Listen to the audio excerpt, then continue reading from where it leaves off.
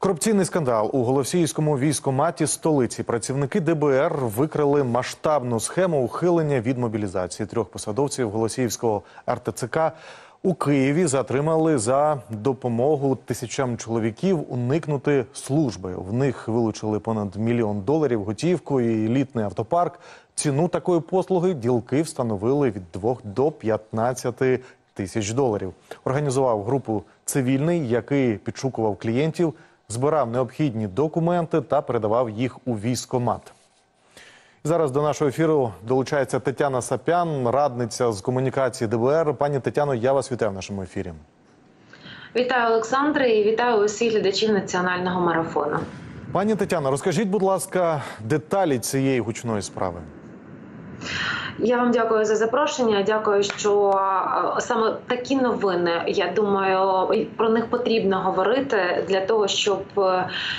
Ті, хто маючи відповідні повноваження і мають дуже високі корупційні ризики, не зловживали своїми повноваженнями, розуміли, що вони чинять правопорушення. А якщо це буде виявлено, а це буде виявлено, то вони понесуть відповідальність.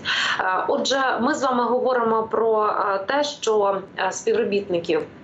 Територіального центру ем, районного ТЦК Голосіївського у Києві е, разом із цивільними, які спільно працювали, напрацювали собі спільну схему, на якій заробляли чималі статки, було викрито на сьогоднішній день. Ми з вами говоримо, що під час е, обшуків було. Вилучено документи і записи, які можуть свідчити про факти незаконного зняття з військового обліку і ухилення від мобілізації військовозобов'язаних чоловіків. Вони звичайно ж будуть аналізуватися. Ми з вами говоримо про те, що е, було виявлено понад 1 мільйон е, доларів Сполучених Штатів Америки, е, 45 тисяч євро, і вилучено також 11 автомобілів преміум класу. Вартість кожного це понад 100 тисяч е, доларів. Ми з вами розуміємо, що справи швидше за все у цієї схеми і у її учасників йшли, як ви розумієте, досить таки е, непогано. Це Звичайно ж, е, неприємно говорити в момент, коли ми розуміємо, що наша країна і ми з вами третій рік поспіль воюємо після широкомасштабного вторгнення Росії, тобто виборюємо свою свободу і незалежність. Що є люди, які обіймають певні посади, і ці посади дозволяють їм незаконно заробляти гроші. Мало того, що своїми ухваленнями своїх рішень рішень у даному випадку ми з вами говоримо про зняття з військового обліку. Вони зловживають ще і е, своїм становищем. Е, Їх затримано як цивільних, так і працівників територіального центру комплектування. А зараз буде наступний етап це обрання запобіжного заходу. Це відбудеться найближчим часом. А після того триватиме досудове розслідування. І звичайно, що в ході досудового розслідування буде ДБР зробить усе для того, щоб встановити і виявити усіх, хто можливо причетний був ще до цієї схеми. Ну і звичайно ж перевірити тих а, у списки, хто є у списках, чи а, на законних підставах насправді їх було знято з обліку, чи е, є приводи і факти, які дозволять е, правоохоронцям сумніватися в цьому. Відповідно, будуть прийняті відповідні мірі міри. Пані Тетяна, а які посади займали оці співробітники ТЦК, якщо можете сказати?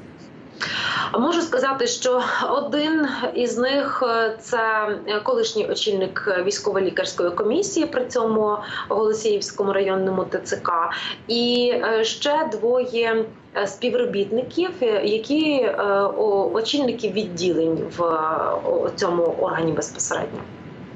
Скажіть, будь ласка, як вдалося вийти і викрити власне працівників Голосіївського ТЦК, і що тепер е, загрожує їм за такий бізнес?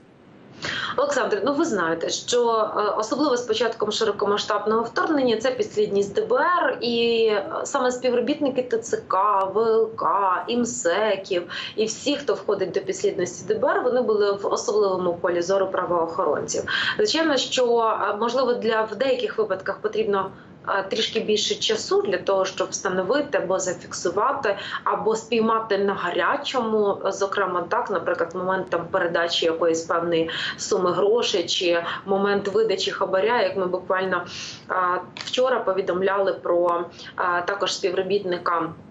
Районного ТЦК е, Тернопіля, Тернополя, зокрема, який, наприклад, е, вимагав в е, одного з чоловіків, який має право законне, навчаючись у навчальному закладі на денній формі навчання, право на відстрочку, він погрожував йому або шантажував, скажімо так, не зняти, не- підписати йому документ, який передбачає відстрочку від призова, якщо він не дасть е, талонів на пальне. Сума орієнтовна е, десь на півтори тисячі доларів. Тобто він брав талонами на пальне, наприклад. Е, Тому у правоохоронців, по-перше, громадяни мають законне право е, зателефонувати анонімно або написати в правоохоронний орган і повідомити про факт корупції. Окрім того, в правоохоронців є чимало засобів, якими вони законних засобів, якими вони користуються і перевіряють для того, щоб встановити факт правопорушення або зловмисного наміру, який потім має бути доведений в суді, а суд має ухвалити відповідне е, рішення.